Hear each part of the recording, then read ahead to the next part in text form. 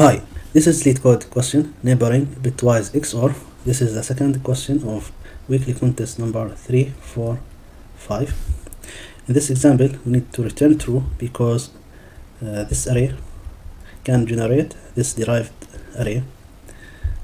So 0 XOR 1, which is the next element, equal 1, which is the first element in the array. Then we have 1 XOR the next element, 0 equal 1 this is the second element in the array.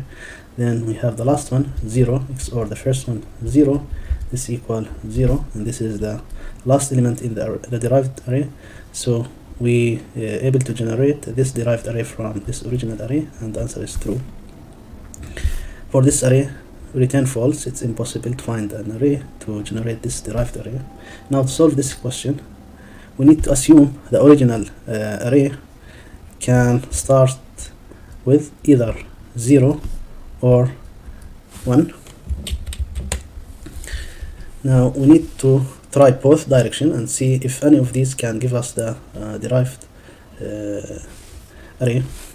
So the first element is 0 now we need to know what is the second element in the original array.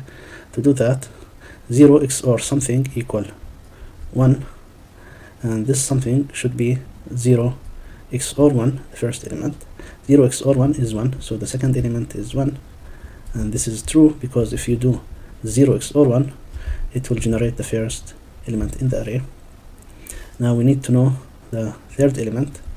And to do that uh, 1 XOR 1 is 0 so the third element must be 0 because now 1 XOR 0 can produce the second entry in the array now the last element is 0 XOR 0 which is 0 and this is true because if you do XOR 0 XOR 0 it will generate the um, third element in the derived array.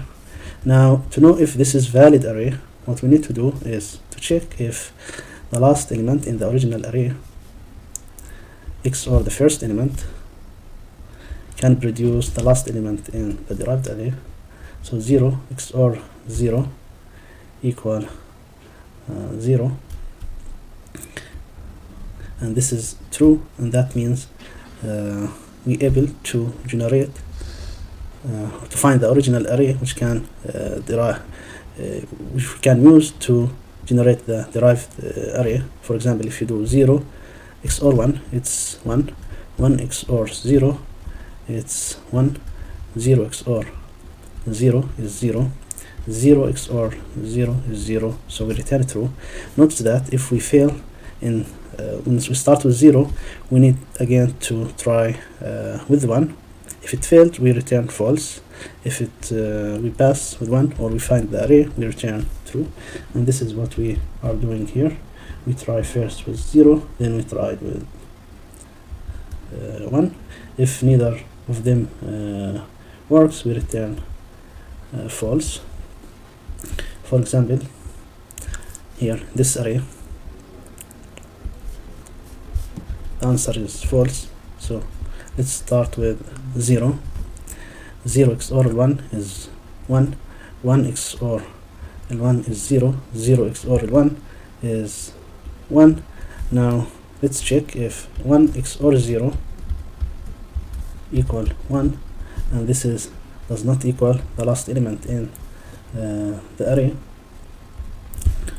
So starting with 0 is not a solution. Let's start with 1 that's equal 1 1 XOR 1 is 0 0 XOR 1 is uh, 1 1 XOR 1 is 0 now we need to check if 0 XOR 1 equal 1 this is not the same as the last element in uh, or sorry the last element in the derived array. So 1 also does not generate a solution. That means the answer should be false